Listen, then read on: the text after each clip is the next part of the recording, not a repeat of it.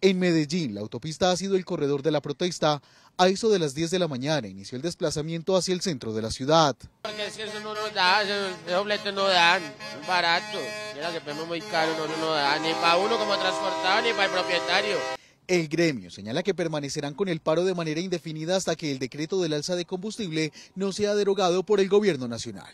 Si el gobierno no deroga ese decreto, no hay negociaciones con él. Estamos dispuestos a llegar hasta las últimas consecuencias porque igual no podemos trabajar a pérdidas.